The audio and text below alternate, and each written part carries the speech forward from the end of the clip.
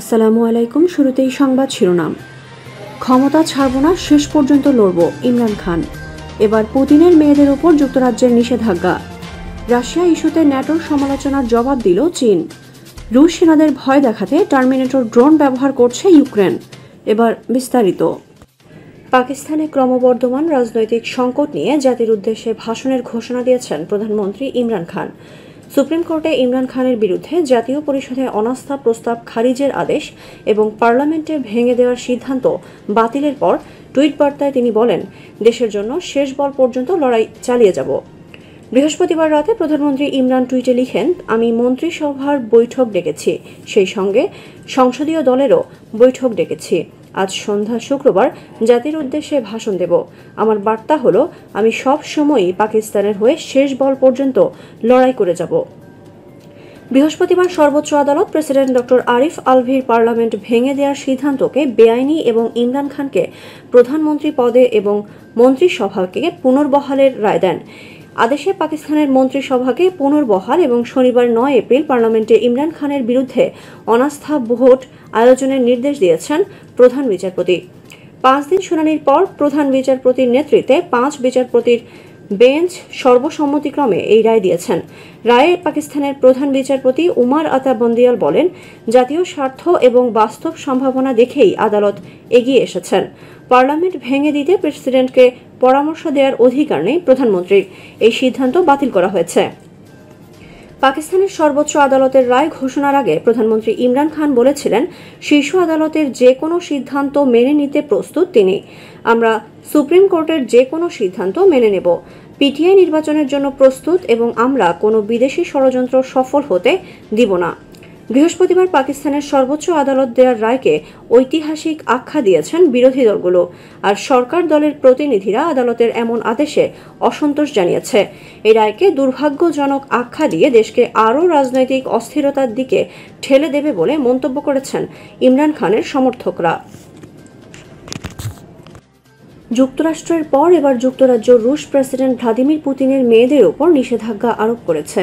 শুক্রবার নিষেধাজ্ঞার তালিকায় তাদের যুক্ত করে যুক্তরাজ্য বলেছে এর উদ্দেশ্য রুশ প্রেসিডেন্টের ঘনিষ্ঠ মহলের লাইফস্টাইলকে লক্ষ্যবস্তু বানানো। ইউক্রেনে রুশ আগ্রাসন শুরুর পর যুক্তরাজ্য এবং তাদের পশ্চিমা মিত্ররা মস্কোর অভিজাতদের ওপর বেশ কয়েক দফা নিষেধাজ্ঞা আরোপ করেছে। এছাড়া রাশিয়ার মূল শিল্প এবং আন্তর্জাতিক আর্থিক ব্যবস্থায় তাদের প্রবেশের উপর নিষেধাজ্ঞা আরোপ করা হয়েছে। যুক্তরাজ্যের নতুন আরোপিত নিষেধাজ্ঞার তালিকায় রয়েছেন পুতিনের দুই প্রাপ্তবয়স্ক মেয়ে মারিয়া ভরন্তসোভা এবং ক্যাটেরিনা টিহোনোভা এছাড়া রুশ পররাষ্ট্রমন্ত্রী সের্গেই ল্যাভরভের মেয়ে সের্গেই ভনা ভিনোকোরুভা রয়েছেন নিষেধাজ্ঞার তালিকায়। এই তিনজনের বিরুদ্ধে আগেই নিষেধাজ্ঞা আরোপ করেছে যুক্তরাষ্ট্র। ব্রিটিশ পররাষ্ট্রমন্ত্রী লিজ ট্রাস এক বিবৃতিতে বলেন, আমাদের নজিরবিহীন নিষেধাজ্ঞা প্যাকেজ আঘাত করছে অভিজাত এবং তাদের পরিবারকে। এতে রুশ অর্থনীতির যেভাবে অবনতি হচ্ছে, তা সোভিয়েত ইউনিয়নের পতনের পর রাশিয়া আর কখনোই প্রত্যক্ষ করেনি। যুক্তরাজ্য আরও বলেছে, তাদের বিশ্লেষণে দেখা যাচ্ছে, রাশিয়া ক্রমেই গভীর মন্দার দিকে এগিয়ে যাচ্ছে। যুক্তরাজ্যের ধারণা আন্তর্জাতিক নিষেধাজ্ঞার কারণে রাশিয়ার বৈদেশিক মুদ্রা রিজার্ভের ষাট শতাংশ জব্দ হয়েছে। ইউক্রেনে রাশিয়ার হামলার নিন্দা না করায় ন্যাটো মহাসচিব জেন্স স্টোলটেনবার্গের সমালোচনার তীব্র প্রতিক্রিয়া জানিয়েছে ইউরোপীয় ইউনিয়ন ইইউতে নিযুক্ত চীনা মিশন। এক বিবৃতিতে মিশন দাবি করেছে, বেইজিং নয়, ন্যাটোই আন্তর্জাতিক নিরাপত্তাকে অস্থিতিশীল করছে। মার্কিন সাময়িকী নিউজ ইউক এ খবর জানিয়েছে বৃহস্পতিবার ন্যাটোর পররাষ্ট্রমন্ত্রীদের সঙ্গে বৈঠকের পর স্টোলটেনবার্গ বলেছিলেন, ইউক্রেনে রাশিয়ার আগ্রাসনে বেজিংয়ের নিন্দা জানাতে অস্বীকৃত বৈশ্বিক নিরাপত্তাকে অবমূল্যায়ন করছে। রুশ আগ্রাসনের বিরুদ্ধে চীনের অবস্থান নিতে না পারার ব্যর্থতা আমাদের সবার জন্য গুরুতর চ্যালেঞ্জ। স্টোলটেনবার্গ স্পষ্ট করেছেন, রাশিয়ার আক্রমণের ঘটনায় চীনের প্রতিক্রিয়াকে জোটের জন্য হুমকি হিসেবে দেখা হচ্ছে। এই সমালোচনার প্রতিক্রিয়া ইউ ইউর চীনা মিশন নিউজ ইউকে এক বিবৃতি পাঠিয়েছে। এতে বলা হয়েছে, ইউক্রেন সংকট শুরুর পর থেকে চীন সব সময় একটি উদ্দেশ্য ও নিরপেক্ষ অবস্থান নিয়েছে। শান্তি আলোচনার পক্ষে প্রতিশ্রুত থেকে এবং পরিস্থিতির অবনতি যাতে না হয়, সেজন্য ইতিবাচক পদক্ষেপ গ্রহণ করেছে।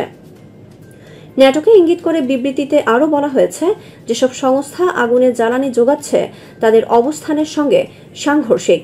রাশিয়ার আক্রমণ মোকাবেলায় ইউক্রেনে অস্ত্র পাঠানোর সমালোচনা করেছে বেজিং তারা বলেছে, শীতল যুদ্ধ শেষ হওয়ার ত্রিশ বছরের বেশি সময় হয়ে গেছে। সেই যুদ্ধের অবশেষ ন্যাটো শুধু যে নিজের ভূমিকা পালনে ব্যর্থ হয়েছে, তা নয়, তারা ভৌগোলিক বিস্তৃতি অব্যাহত রেখেছে এবং ক্রমাগত চীনকে নিশানা করছে। এটি বৈশ্বিক শান্তি ও স্থিতিশীলতার জন্য গুরুতর চ্যালেঞ্জ। ইউক্রেনে রাশিয়ার আক্রমণের সরাসরি নিন্দা জানাতে অস্বীকৃতি জানিয়ে আসছে চীন। এই যুদ্ধের কারণে মস্কোর ওপর আরোপিত নিষেধাজ্ঞারও সমালোচনা করেছে দেশটি। বুধবার চীনের পররাষ্ট্র মন্ত্রণালয়ের মুখপাত্র ঝাওলিজিয়ান বলেছেন, ইতিহাস ও বাস্তবতা প্রমাণ করেছে নিষেধাজ্ঞা শান্তি ও নিরাপত্তা নিয়ে আসে না, এতে শুধু পরাজয় আসে। তিনি অভিযোগ করেন, ইউক্রেন সংঘাত থেকে যুক্তরাষ্ট্র প্রচুর অর্থ মুনাফা করেছে। ইউক্রেনের রুশ সেনাদের দ্বারা যুদ্ধাপরাধের অভিযোগের জন্য রাশিয়াকে দায়ী করতে অস্বীকৃতি জানিয়েছেন চীনা পররাষ্ট্র মন্ত্রণালয়ের মুখপাত্র। ইউক্রেনের প্রেসিডেন্ট ভলোদিমির জেলেন্সকির একজন সাবেক উপদেষ্টা বলেছেন, রুশ সেনাদের ভয় দেখাতে টার্মিনেটর ড্রোন ব্যবহার করছে ইউক্রেনের সেনারা। এই ড্রোন এমনভাবে ব্যবহার করা হচ্ছে যাতে করে রুশ সেনারা ভাবছে তাদের তাড়া করছে স্কাইনেটের কোনো ড্রোন। মার্কিন সাময়িকী নিউজ ইউক এই খবর জানিয়েছে। মার্কিন সংবাদ মাধ্যম এমএসএনবিসিকে বৃহস্পতিবার দেয়া সাক্ষাৎকারে জেলেন্সকির সাবেক উপদেষ্টা ইগোর নোভিকভ এই ঘটনাকে উত্তেজনাপূর্ণ গল্প হিসেবে অভিহিত করেছেন। তিনি জানান, ইউক্রেনের সেনারা রুশ বাহিনীর সদস্যদের বাণিজ্যিক ড্রোন ব্যবহার করে তাড়া করছে, কিন্তু ড্রোনগুলোকে এমনভাবে সজ্জিত করা হচ্ছে যা দেখে মনে হয় কল্পকাহিনী স্কাইনেটের কোনো ড্রোন। আর্নল্ড জেনেগারের টার্মিনেটর চলচ্চিত্র সিরিজে স্কাইনেট হল শক্তিশালী কাল্পনিক কৃত্রিম বুদ্ধিমত্তা।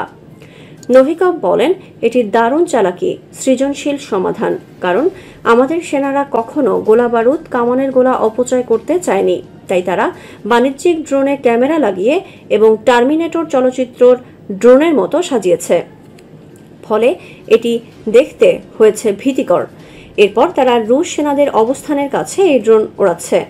নভিকভ আরও বলেন, আপনি যদি একজন রুশ সেনা হন এবং স্কাইনেটের কোনো ড্রোনের মতো কিছু দেখতে পান, তখন কি করবেন? আপনি দৌড়াবেন? কোথায় যাবেন? নিশ্চয়ই ঘাঁটিতে যাবেন। এভাবে রুশ সেনারা তাদের ঘাঁটি দেখিয়ে দিচ্ছে। এরপর আমাদের সেনাদের ঘাঁটিতে গোলা বর্ষণ করা বাকি থাকে। আমরা কোনো গোলা অপচয় করছি না। এসব বাণিজ্যিক ড্রোন একা হামলা চালাতে সক্ষম না, শুধু ভীতিকর হিসেবে সামনে থাকে। তবে এগুলো ছাড়াও ইউক্রেনের সেনারা সশস্ত্র ড্রোন দিয়ে হামলা চালাচ্ছে। এসব হামলার মাধ্যমে রুশ সেনা ও সামরিক সরঞ্জামকে লক্ষ্যবস্তু বানানো হচ্ছে।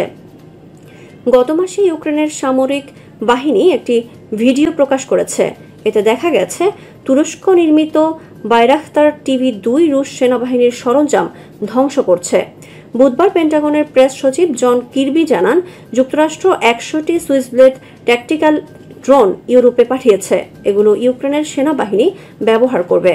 নিউজ ইউকের পক্ষ থেকে ইউক্রেনের প্রতিরক্ষা মন্ত্রণালয় ও ওয়াশিংটনে রুশ দূতাবাসে যোগাযোগ করা হলেও সাড়া পাওয়া যায়নি।